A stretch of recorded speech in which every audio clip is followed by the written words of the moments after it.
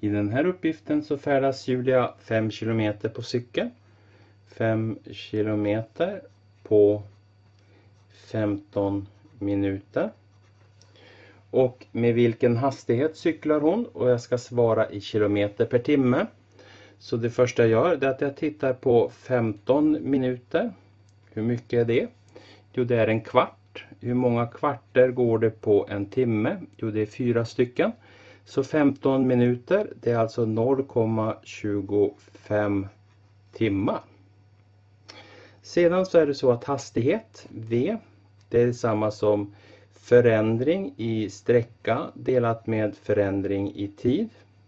Och nu så cyklade hon 5 kilometer, alltså 5, och på tiden 0,25 timmar.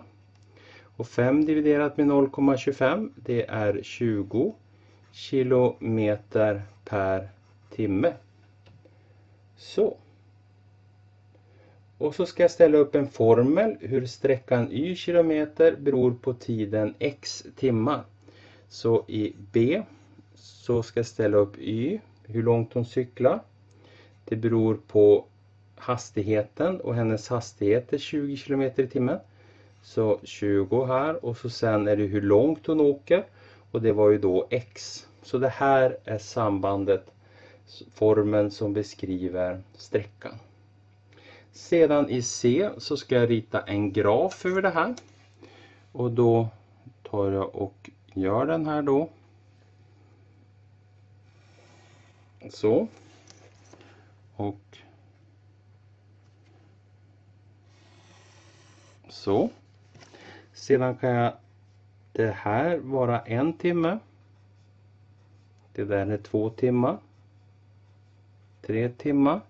Så det här är timmar. Så jag har tiden här. Och den är ju angivet som x. Jag ska skriva ett x här, inte ett t. Så det ska stå ett x här.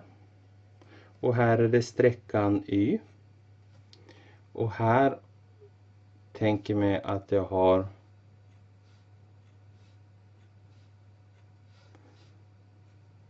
så. Här så kan jag tänka mig att jag har 10, 20, 30, 40, 50. Här är sträckan kilometer. Så efter en timme så har hon cyklat 20 kilometer. Och efter två timmar så hade hon cyklat 40 kilometer. Jag stoppar alltså in en etta här och räknar ut. Eller jag stoppar in en tvåa här och räknar ut. Och så sen så drar jag en linje så här. Och jag kan låta den vara röd.